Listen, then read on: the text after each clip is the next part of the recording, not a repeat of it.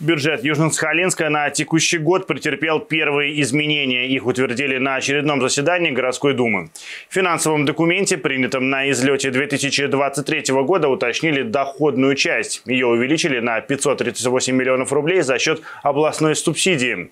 Поступившие средства распределят на социальные нужды горожан. Какие именно, знает моя коллега. Поправки в городской бюджет выручат целый ряд сфер. Свыше полумиллиарда рублей пойдет на образование, социальную защиту детей, ремонт дорог. И это не полный список. В частности, большую часть средств потратят на развитие коммунального хозяйства.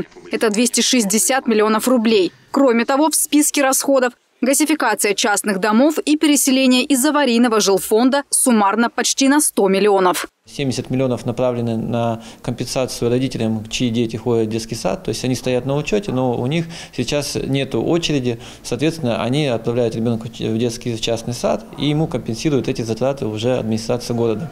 Выход из проблемы, сложившейся в Новоалександровске, утвердили городские парламентарии. Воздушные линии электропередач в СНТ «Путейц», построенные еще в 90-х годах силами садоводов, пришли в негодность. Содержать их самостоятельно резиденты товарищества не могут. Чтобы сохранить жителям электричество, депутаты приняли линии в городскую собственность. У нас порядка 250 а, СНТ.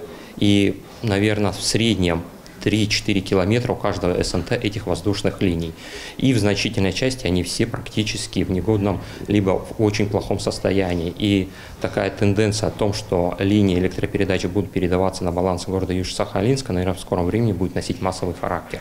Еще одним ТОСом в Южно-Сахалинске станет больше. Он получит название «Пограничная 36». За его создание депутаты проголосовали на очередном заседании. Это уже 110-я по счету территория общественного самоуправления в областной столице. В границах территориального общественного самоуправления предусматривается один многоквартирный жилой дом, расположенный по улице Пограничная 36.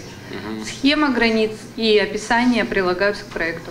В ходе 69-го заседания городской думы Южно-Сахалинска депутаты рассмотрели 13 вопросов. Юбилейная 70-я сессия состоится в конце марта. Предварять ее будет работа пяти постоянных комитетов. Дарья Янченко, Влад Французов, Александр Тютюнников, Дмитрий Прокошкин. Солнце ТВ.